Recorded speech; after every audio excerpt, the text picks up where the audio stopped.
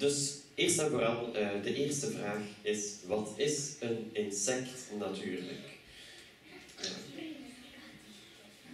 Zoals je wel weet zijn er verschillende diergroepen. Je hebt vogels, vissen, zoogdieren, hè, waar wij als mensen bij horen. Dan heb je nog amfibieën en reptielen.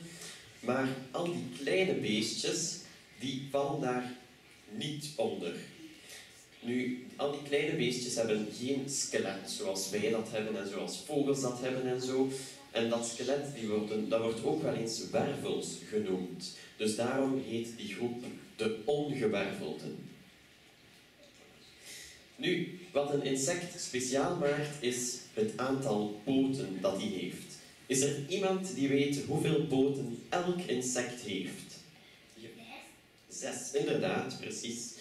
Dus dat zorgt er dan ook voor dat een spin helemaal geen insect is. Hoewel veel mensen dat wel denken, want een spin heeft acht poten. Goed, en dan nog, uh, van waar komt het woord insect? Dat is van het Latijn, zoals je hier kunt zien, van bij de Romeinen. Die zagen daar zo mieren rondlopen en zo. En ze dachten, hmm, zo allemaal stukjes aan elkaar geplakt precies. Dat zijn precies ingesneden dieren. Dus vandaar insecare is het werkwoord insnijden in het Latijn.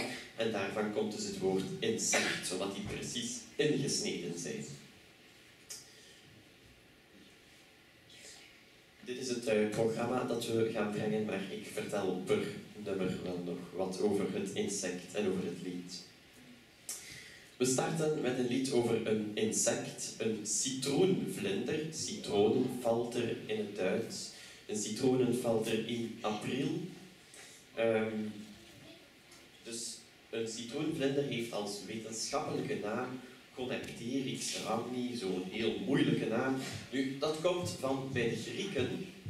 En Gonepteryx, dat wil zeggen hoekige vleugel. Want zoals je kunt zien, heeft die vleugel ja, een hoek op het einde. En veel vlinders hebben een mooi afgeronde vleugel.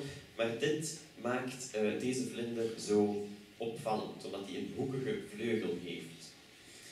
Nu, uh, in dit lied gaat het dus over een citroenvlinder in april.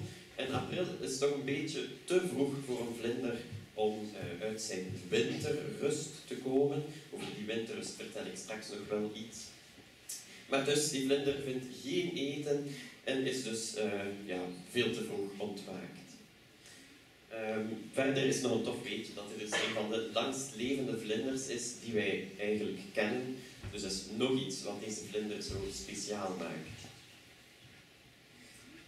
Verder Ramni in de naam, uh, dus ja, Ramni kun je daar zien staan, dat komt eigenlijk van de, de plant waarop die vlinders geboren worden, waarop de vlinder de eitjes leggen die dan rups worden en dan een pop en dan een vlinder.